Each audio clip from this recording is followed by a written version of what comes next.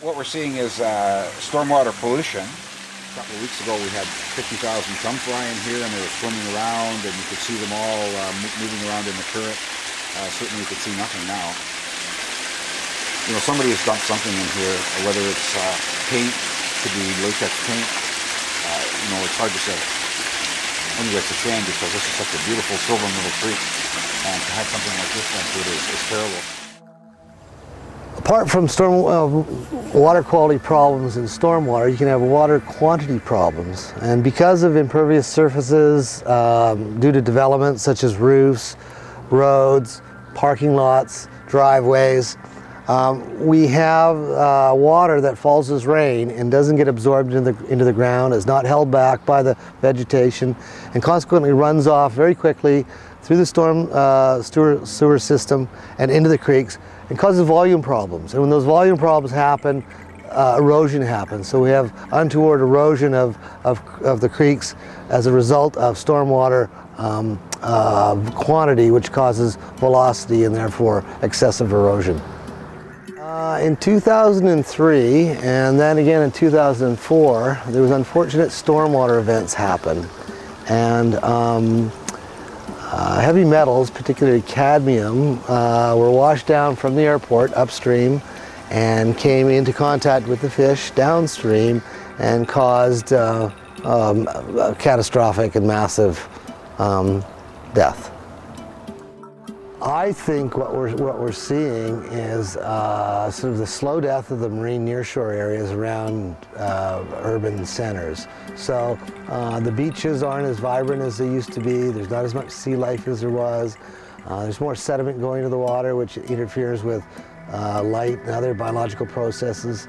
Um, so I think we're going to see just a gradual dying of the, of the life on our beaches close to the urban centers whether or not you care about orcas or salmon, you need to care about your own neighborhood and you need to care about the areas your kids play in. I've seen this beach, uh, kids playing in this water, animals drinking it.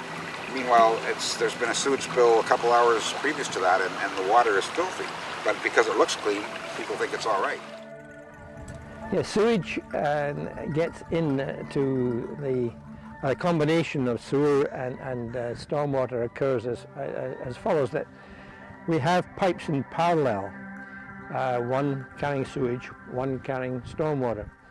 And often this infrastructure becomes, um, you know, a little bit decayed over time and it cracks and it leaks.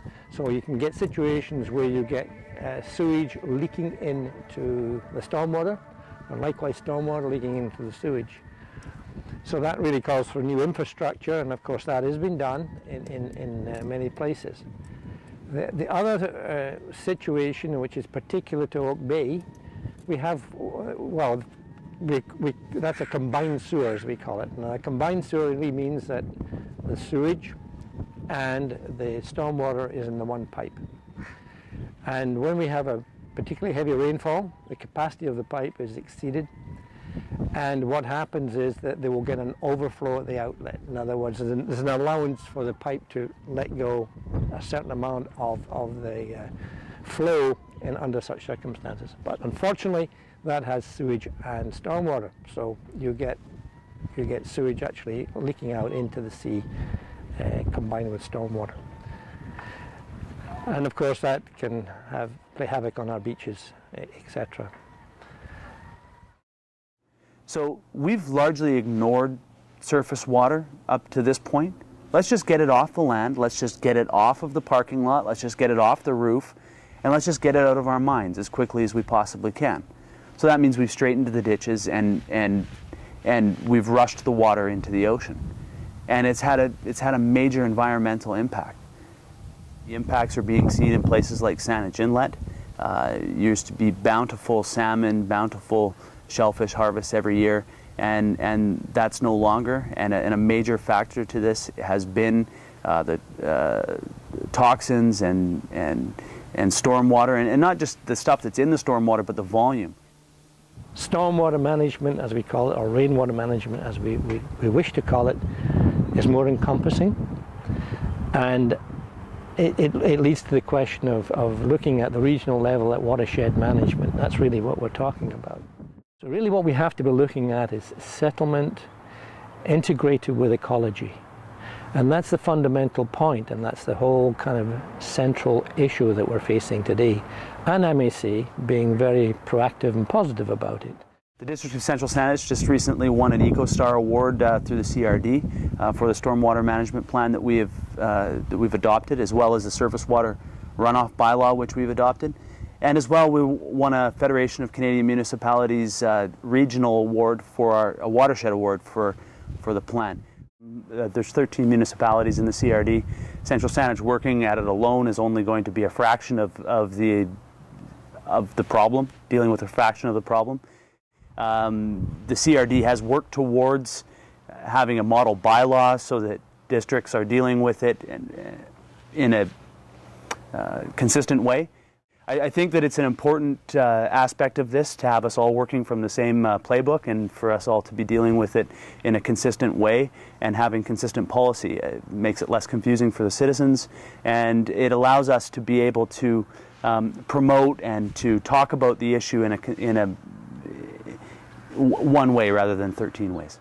Like watercourses don't understand borders, so if you have a border between one municipality and another, the water course carries from one to the other. It would be silly to have one bylaw on one side of an artificial border and one on another side. So consistency so that everybody knows what the rules are and it's applied evenly across the whole um, uh, Capital Regional District would just make total sense. So individual ones are better than nothing, individual municipality bylaws, but an overarching one would be way more effective to uh, um, protect our stormwater.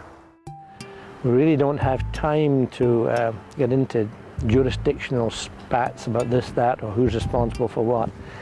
We have to be bold, innovative, and go for the big picture. And the big picture is just what I've described, that collectively put our heads together and we have the vision and put the structure together to, to make it happen. And it's not hard to do. Bowker Creek has managed, and I think it's, a, it's an incredible achievement, frankly, of bringing together three municipalities, Victoria, Saanich, Oak Bay, to look at it in an integrated way. In other words, look at it as a watershed. But further to that, and the most important component has been the community. And that, at least from my perspective, is, is the energy that is required to really make things happen. Politics change, things change, but when a community takes, community takes responsibility, it's there for the long term. So when you combine community, elected officials, three jurisdictions, a hundred-year vision, you're really um, heading in the right direction for the future. We as, as, as politicians in the CRD need to be real with people. We need to tell them exactly what's in front of them. And it's a big expense. And it's an expense because we haven't dealt with it responsibly in the past. And so to get, we can make a policy going forward that says that everything new is going to be to a certain set of standards. But we still can't ignore what we've done in the past. We still got to fix that. And that's going to come at a cost. This is actually kind of an exciting uh, year in that we saw coho fry that had been spawned, uh, a result of spawning of wild fish that had come back last fall and successfully spawned in the creek and produced um, uh, offspring. And that's the first time we've seen them here since the spring of 2002, which would have been the uh, before the two um, uh, stormwater events happened.